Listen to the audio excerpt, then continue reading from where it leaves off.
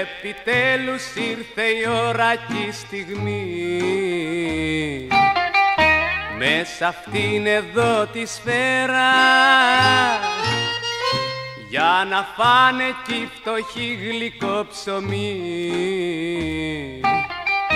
Και να δουν μια άσπρη μέρα Ήρθε η ώρα τώρα μέσα αυτή τη ζήση. Ήρθε η ώρα κι η φτωχόλογια να ζήσει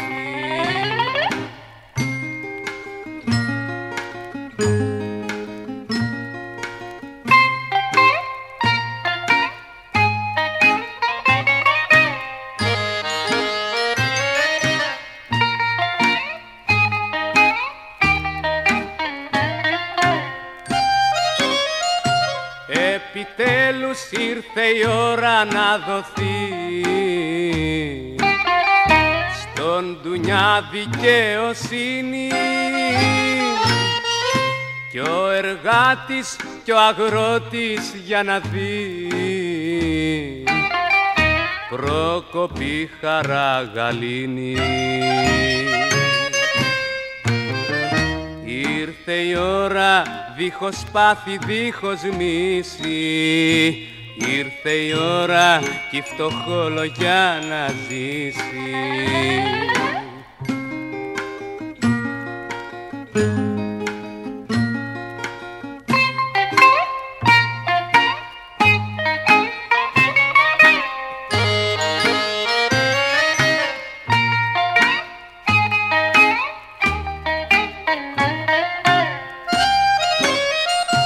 Επιτέλους ήρθε η ώρα να μας δουν για να είμαστε ενωμένοι. Μη συμπάθει τώρα πλέον θα ταφούν και θα ζούμε αδερφωμένοι η ώρα τώρα μέσα αυτή τη σφαίρα για να δούνε κι οι φτωχοί μια άσπρη μέρα.